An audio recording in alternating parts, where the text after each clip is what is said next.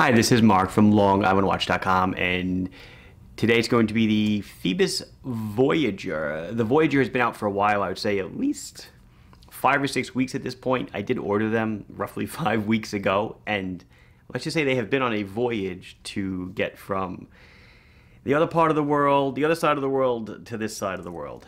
It's been exciting, um, but finally they arrived, so it took a little while, but they're here.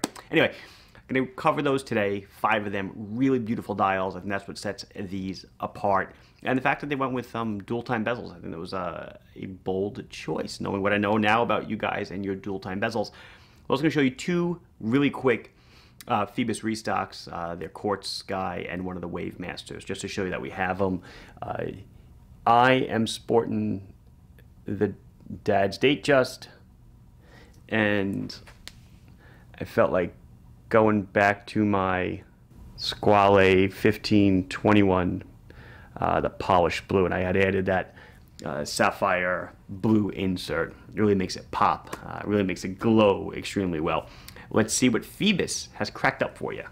So before we dive, haha, dive into the main attraction, just two quick notes. The quartz divers in the black and the blue are back in stock, in my opinion, for 119 bucks. Uh, they're I don't think there is a better quartz diver out there. Solid link bracelet, solid end links, sapphire crystal. Um, excellent registration on the seconds hand to the indices. If you can't see it, it's because I'm holding the watch crooked. Uh, decent lume, nice clasp, everything about it. You know, the only thing you could ask for a little bit more is a ceramic bezel. It's a it's aluminum insert, but other than that, for $119, tough to beat this one. And then the Wavemaster is back, um, both with date, like this one, the PY010. That uh, one I just showed you was PX002.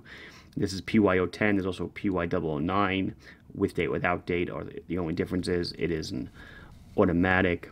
It's a beautiful 300 meter diver. Is it going? Whoops, not going. There we go. Uh, beautiful 300 meter diver, screw down crown, just like the other guy was, but really heavy duty, very nice, beautiful bracelet. So just a quick commercial for those guys. So I'll reach behind me here. I have them all in order. So these are all the Voyagers.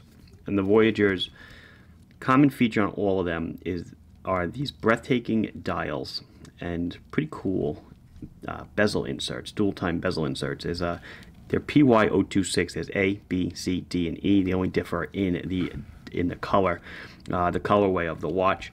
Uh, so let's see. So Phoibos Voyager 300 meter automatic dive watch is 40 millimeters in diameter.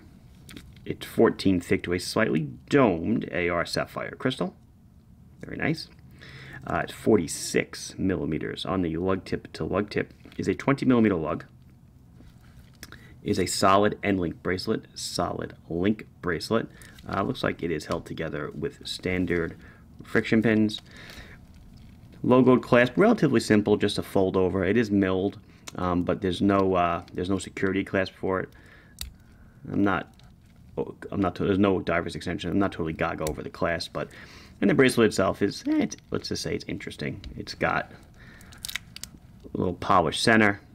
Oops, there we go. I got a little bit off. Uh, polished center and brushed on the outside. Uh, but let's um let's get the plastic off my glove. There we go. Uh, powered by a Seiko NH35 movement, which just like the movement in, in uh, you know your NH your 4R36 that's in your Seiko divers and stuff. Hand winds, hacks. The only difference is this is date only, no day. 40 hours power reserve. 24 jewels, I believe, or maybe one less because there's no day. Nonetheless, hand winds hacks, seconds hand stops, change the time. One click out, I can change the date. Uh, screw it back down for the uh, full water resistance of 300 meters. Beautiful unidirectional 120 click bezel. It's a dual time bezel, so I'm not sure that 120 click is extremely important, but still has very nice action. Uh, coin edge bezel with, check it out, at the, at the hours, which is really interesting um, is kind of a wider, like a wider nib. Interesting how they did that. It you know kind of makes the watch just different. Uh, so you can tell they designed the bezel to be used in conjunction with this sort of an insert. Uh, lume pip here, there is a super loom on the dial and the hands. Let's see, uh, nice case back. They do a beautiful engraving on the back. Water resistant, 1,000 feet, 300 meters, sapphire crystal, Phoibos automatic. Um, okay, so this is, well, let's come in on dial a little more. This is PYO26A. Like I said, the dials on these is what's gorgeous. Beautiful. Oh, they're all the same price, 269 It occurred to me, I don't think I gave you the price of the Wave Master, that back in stock black model. I think that was 259 But anyway, 269 for this beautiful green dial guy. And then, so this was A.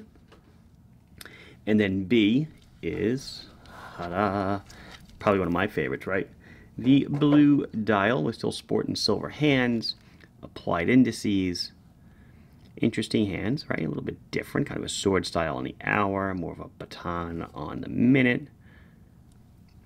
Pip on the correct side of the seconds hand, the, the, the lollipop, excuse me. Date window is framed nice and silver. Everything else about the watch the same. So this is the PYO26B blue dial. Like I said, I'm trying to keep them all in order, so I'm kind of reaching behind me. And now we have C, which is, I think, and I apologize because I might have messed them up already. Uh, no, not this one. This is the very, very dark gray. No, this is the black dial.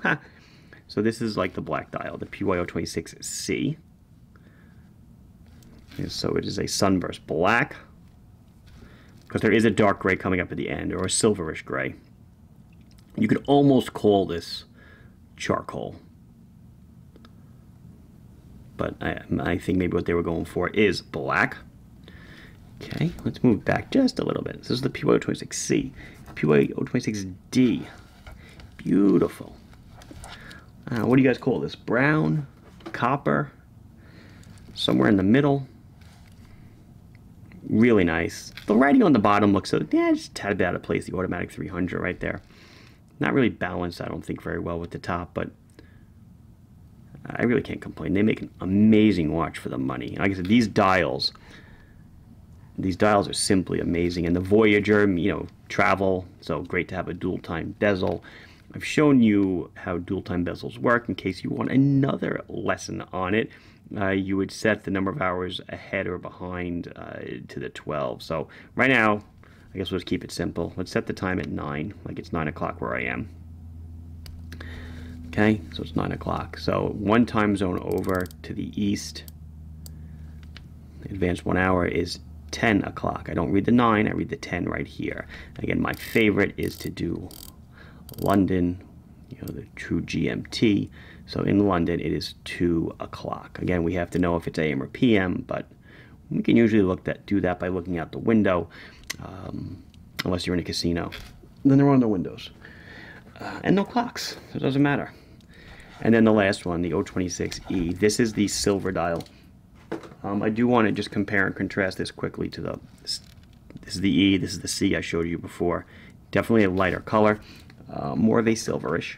Very nice, striking, catches the light very well.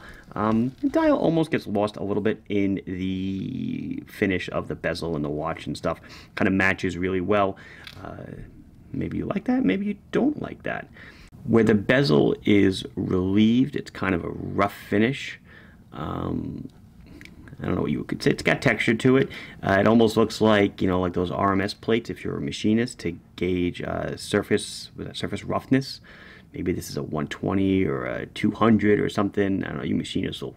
Crap, I haven't I haven't done metallurgy stuff in a number of years, so my my uh, my gauge is off in my head, uh, but still really nice looking. Let's um let's flip out the lights and uh, see what the glow looks like. We know it's going to glow well because it's a Phoibos.